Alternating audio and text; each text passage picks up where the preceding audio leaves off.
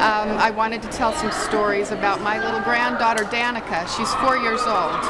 One day, Danica was jogging with her mother, and she's usually in the jogging stroller, but this time she wanted to ride her bike. So her mom was getting a little bit ahead of her and, and jogging in place, and Danica, when she caught up to her, said, Mom, do you need to go potty?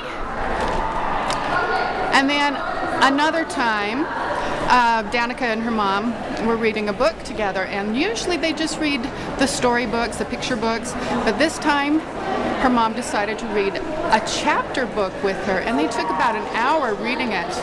And when her dad got home from work that day, Danica was so excited she went running up to him. She says, Guess what? Mom can read long books now. And then later that week, um, Danica's parents had gone to a parenting class. And when um, they came home, Danica said, Now, where did you go? And they said, Well, we went to learn to be better parents. And she said, Oh, so you won't be rude.